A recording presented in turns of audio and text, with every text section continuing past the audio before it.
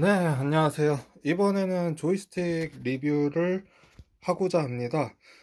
제가, 이거는 지금 제가 리뷰할 조이스틱은 바로 T16000M 이 조이스틱인데요. 사실 이거 같은 경우에는 처음에 접했을 때 지난 2018년 부산 지스타에서 그 선보였었던 이 지스타 이 조이스틱을 제가 처음에 봤었습니다. 근데 문제는 제가 이거를 기존에 똑같은 동일 기종이에요. 다만 차이가 있다면은 이거는 제가 2013년도에 구매한 제품이고 여기 보시면은 아시겠지만 뭐 써보신 분들은 아실 거예요. 이거 같은 경우에는 여기에 USB에 했을 때 이 조이스틱을 움직이면 여기서 초록빛이 나옵니다. 반면 지금 이거를 봤을 때는 약간 주황색 빛이 나더라고요. 그러면 한번 개봉해 보도록 하겠습니다. 아, 해당 가격에 대해서 고지를 하자면 이 가격 같은 경우에는 5만 9천 원에 샀고요. 11번가 통해서 구매를 했습니다. 다만 아셔야 될 점은 제가 이걸 업로드 할 시기에 이 59,000원은 딜가였기 때문에 더 이상 판매하진 않을 거라고 생각됩니다. 그러면은 개봉해 보겠습니다. 칼이 어딨냐?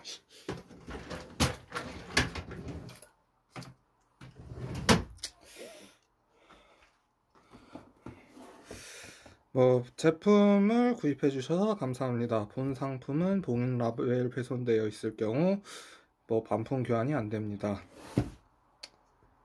사실 이거를 제가 2013년도에 구매를 하긴 했지만 갑자기 뜬금없이 조이스틱을 바꾸려고 하는 이유가 이게 좀 맛이 고장이 나기 시작을 했어요. 그래서 왜냐하면은 제가 보통 왼손으로 하거든요. 근데 이제 이거를 하면은 이게 갑자기 러더가 이게 우측으로 꺾여버리는 증상이 돼 있더라고요. 아무래도 왼 그러다 보니까 이 해당 이걸 만기는 업체한테 전화를 해보니까 오히려 수리비가 더 나올 수 있기 때문에 다른 걸로 교체를 해보라고 하더라고요.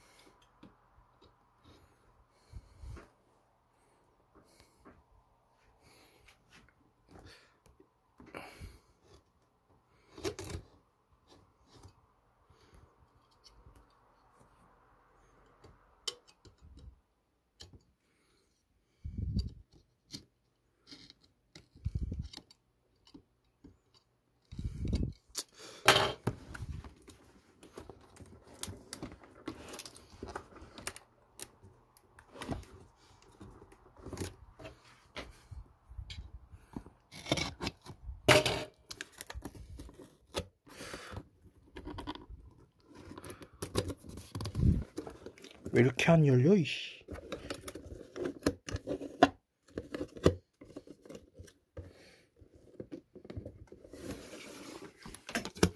아, 이 박스가 이렇게 돼 있네요.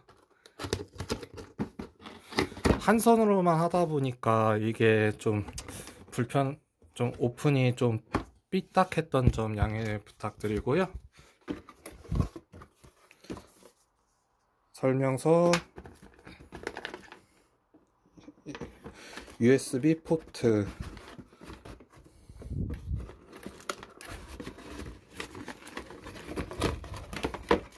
이건 뭐야? 이거는 손잡이 고정대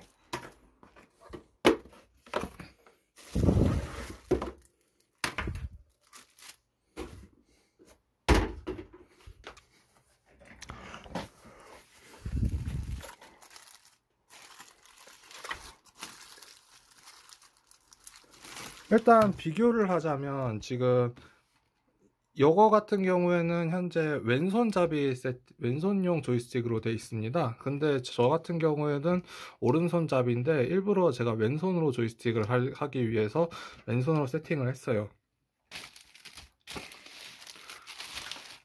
왼손잡이, 오른손잡이는 이 부속품을 이용해서 세팅을 할 수 있습니다.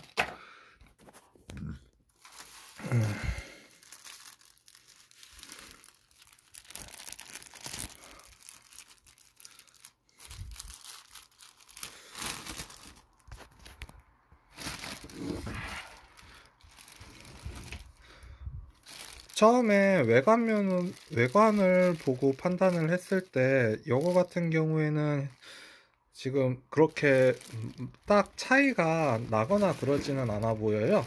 그런 다만 지금 보시면은 이쪽에는 스로틀 잡는 게 이 스로틀이랑 이 스로틀의 모습 그리고 버튼 부분에 대해서도 이쪽에 자세히 보시면 여기는 그냥 좀 평평한데 이쪽에 보면은 가운데 이 앞부분에는 이렇게 손가락으로 누를 수 있는 장치가 이렇게 돼 있네요.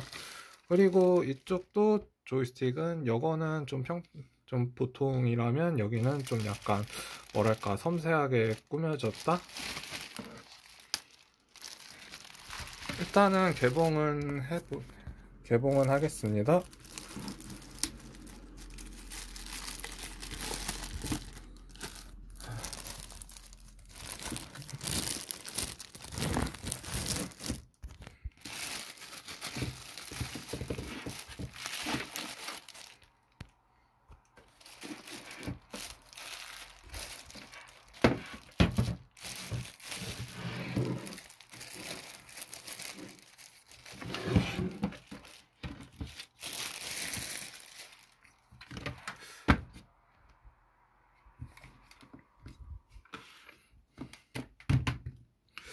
외관은 그렇게 많이 별 차이는 없어요. 어, 하긴 근데 그도 그럴 수밖에 없는 게 보시면 아시겠지만 이게 모델명이 16000M이거든요. 이것도 모델이 16000M입니다. 다만 이거 같은 경우에는 2013년도에 나온 출 구매했던 거고 이거는 올해 이번에 구입한 겁니다. 일단은 뭐 스로틀 부분이나 이 부분에 대해서는 좀 여기 잡는 게 좀 버튼이 좀 세밀화돼 있다고 해야 되나?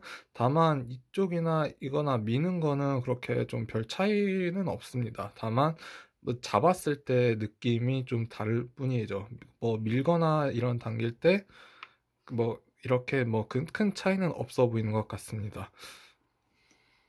이거는 뭐 따로 왼손잡이로 세팅을 해서 한번 테스트 비행을 해봐야 될 것 같습니다. 그러면 테스트 비행 때 보죠.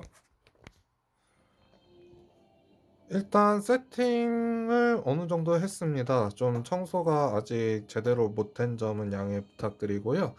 어느 정도 제가 책상 정리를 해서 조만간 이건 내일 아침에도 청소를 할 거니까 일단 이건 제 정리 정도 상태는 좀 넘어가 주시고 일단 세팅을 했을 때 뭐 기존에 있던 조이스틱이랑 비교를 한다면 지금 여기는 좀 약간 세밀하게 디자인이 된 느낌? 그래서 다만 스로틀이나 밀고 당길 때는 이 부분에 대해서는 기존 스틱과 별 차이가 없습니다. 그리고 여기서 눈여겨볼 것은 기존 스틱 같은 경우에는 지금 여기는 전에 얘기했듯이 요거는 여기 초록불이 들어온다면 요거는 이렇게 중앙불이 주황색 불이 들어옵니다. 지금 여기에는 12개씩 좌우 6개 이렇게 나, 나뉘었고요. 여기도 동일하게 하나 둘 셋넷 예, 그리고 여기도 하나 둘 셋 넷 이렇게 돼 있습니다. 뭐 차이는 없어요. 그렇게 이게 제가 테스트할 게임창은 플라이트 시뮬레이터 X 스팀 에디션입니다. 솔직히 이 조이스틱을 테스트 할 게임이 이거밖에 없어요.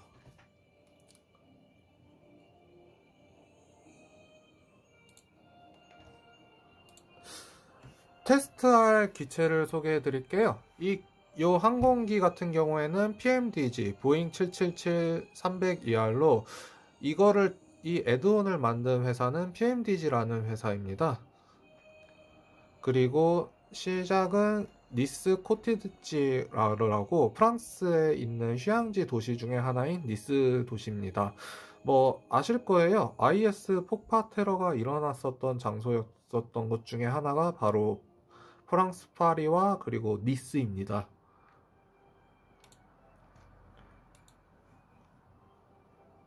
뭐 설정은 이 정도 하고요.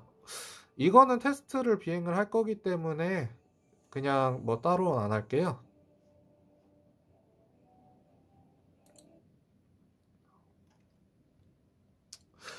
지금부터는 이제 이걸로 테스트 비행을 어떻게 할 건지 소, 보여드릴 건데 문제는 지금 이 제가 쓰고 있는 카메라가 노트 8이거든요.